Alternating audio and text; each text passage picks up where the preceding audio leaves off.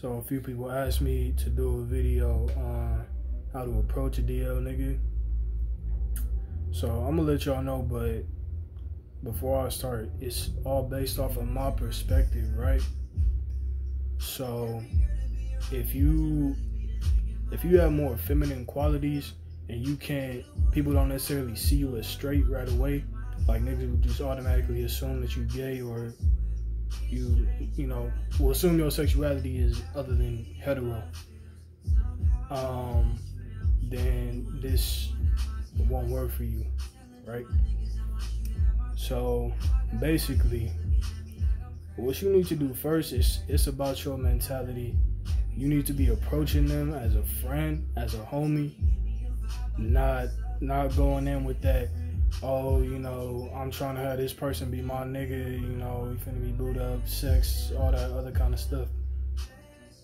Nah, that ain't gonna work. Right? So, approach him as a friend, approach him as a homie. Be chill. Don't be overbearing. Don't text twice. I can't think of a, too many other examples other than that, but don't do that shit, right? Now, let's say you approach him as a homie and you get their number or their Instagram or they uh, Twitter, or whatever, right?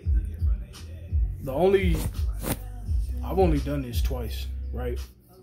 And the way that I've it's been easier for me because I've approached them on on a level that we connect on, right? I approach niggas when I go skating sometimes, and it's easy because you know it's some shit that I don't know. If I see a nigga that you know know how to do that shit well, I can just be like, hey, bro, like teach me how to do that type shit. I got niggas IG a couple nights ago doing that, right? So let's say you know you get the info, um, and y'all actually you know become friends, little by little, y'all get to kick it, right?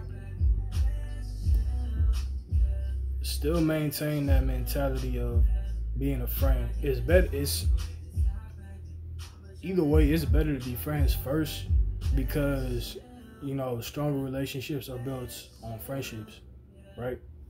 So do your best to keep that friendship mentality in mind. Not that you know you. I mean, you obviously want a relationship, so it's always gonna be in the back of your head. But do your best to suppress that shit, cause that can fuck it up. If a nigga senses weird energy like that, even if Cause it's levels to the DL shit, right? It's some niggas who have never considered a relationship with other niggas. They might just be fucking niggas. Or they might not even be doing that. They may be so DL that they only fuck females, right? And they could be real unhappy doing that shit. But um yeah, let's say y'all get to be friends, y'all cool and all that. I would say the next step would be to subtly subtly let them know or send them signs that you care about them more than the average nigga would. You feel me? So you want to let them know that you care about them more than the average nigga would, right? So, you know, if you sense that they having problems, ask them what's up. Or, uh, yeah, I don't know. Be, be caring, I guess. Um, yeah, man. If you go in with that with that lust mentality, niggas can people people can sense that shit. People can sense your intentions from the vibe that you give off, especially if you're not adept at hiding that shit. Cause you know you can be aware of that and you know do your best to suppress it, like I'm I'm telling y'all. But um, yeah think that's the only advice I really got for y'all on that. Uh, like I said, I I've only done this twice, and actually, let me say that I'm in the I'm getting this shit myself too. So I'm just letting I'm just giving y'all the the tools that I've used or the the methods that I've used so far, right? Cause I had to I had to kind of backtrack. I've been I didn't got I've gotten comfortable with myself, right? For so long that I had to remember like I never had a problem making friends with niggas when I was actually just trying to be friends, right? Now it's the same for me. Like I got that relationship mentality in the back of my head because I felt what that shit is like, and that's that's what I want, right? Um. So yeah, I'm in the process of using these these same methods now, and shit's promising. That's all I'm gonna say.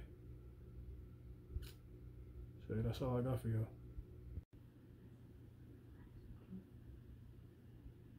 Something I forgot to say at the end of that video. Keep in mind, or just consider that some of these niggas may have never considered being with the guy. That means being in a relationship, fucking whatever, regardless of what their, you know, base urges may be. Like, try and remember how it was for you when you first started getting comfortable with actually doing shit with guys. That's probably, I mean, that could be where some of these niggas is at. So, I mean, you're gonna have to be the more assertive one as far as like initiating conversation, that kind of shit. But don't be discouraged when you know the result isn't what you wanted it want at first. You feel me? Like, to give you an example, when I I was probably I was 23. I've been getting more and more comfortable as I go, but when I was like 23, that was when I first started actually considering a relationship with guys because that was the first time I actually fell in love with a nigga around the first time. And before that, I can say that there was a, there was one instance, right? I was skating at World on Wheels, and this this light skinned nigga, real nice, uh, bro comes up to me and you know when you skate a lot you recognize faces you know who be there all the time that kind of shit so bro was a regular um, bro comes up to me he wearing like some joggers and a white beater. And i don't remember what the fuck he said but i could tell that bro was nervous. You feel me? Because i was just i got off the floor. I wasn't skating. I was just watching people skate. Bro comes up to me taps me and says something but he said it so low I couldn't even understand him, and I could like I couldn't I couldn't understand him. I didn't know how to fucking respond, so I was just like, yeah. And you know, even then, I didn't immediately pick up on it. You feel me? But when I went back to go skate, I looked at him and he looked kind of disappointed or um yeah, disappointed would probably be the best the best the best word for it. Right? So I can say with like 90% certainty that nigga was trying to get at me. You know, bro might have I mean this was around the time I, was, I probably had like what maybe 10 20,000 followers on Twitter so bro might have recognized me from there but um yeah. Just just keep that in mind when you getting at these niggas, alright?